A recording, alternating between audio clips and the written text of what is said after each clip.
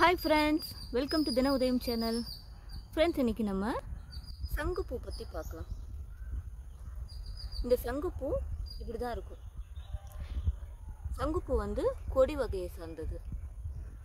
இதில் வெள்ளை கலர் சங்குப்பூவும் இருக்குது. இந்த சங்குப்பூ சிவனை பார்க்க வச்சா ரொம்ப ரொம்ப நல்லது. சனீஸ்வர பகவானுக்கும் சங்குப்பூவை வைக்கலாம். அது மட்டும் இல்லை இது மூலிகை செடி. இந்த சங்குப்பூவில் டீ போட்டு கூட குடிப்பாங்க. இந்த சங்குப்பூ வீட்டில் வளர்க்குறது ரொம்ப ரொம்ப நல்லது. ஃப்ரெண்ட்ஸ் உங்கள் வீட்லேயும் சங்குப்பூ செடி வச்சு வளருங்க. இந்த வீடியோ பதிவு பிடிச்சிருந்தா சப்ஸ்கிரைப் பண்ணுங்கள் ஷேர் பண்ணுங்கள் லைக் பண்ணுங்கள் தேங்க்ஸ் ஃபார் வாட்சிங்